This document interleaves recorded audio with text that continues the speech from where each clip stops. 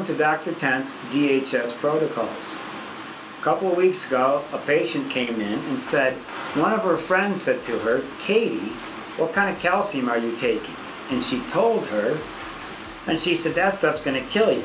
And Katie came in and asked me, Dr. Tent, this is what my friend said, what do you think? I said, your friend's absolutely right. Today, all the women are taking insoluble forms of calcium with insufficient stomach acid. Oyster shell, dolomite, eggshell. You can't eat eggshell. You can't eat dolomite.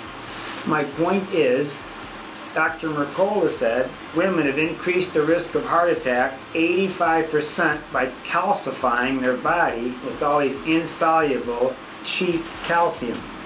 I said, Katie, 20 years as a patient, I can't believe you've calcified your insides. Personally, my high-end calciums, I can take three Calma Plus, two, these are my first tier.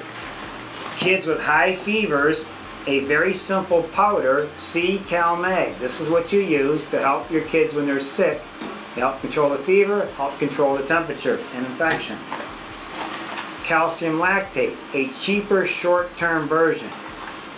Long-term, when you're sick, short-term.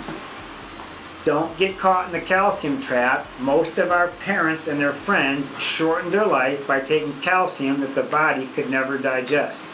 Thank you.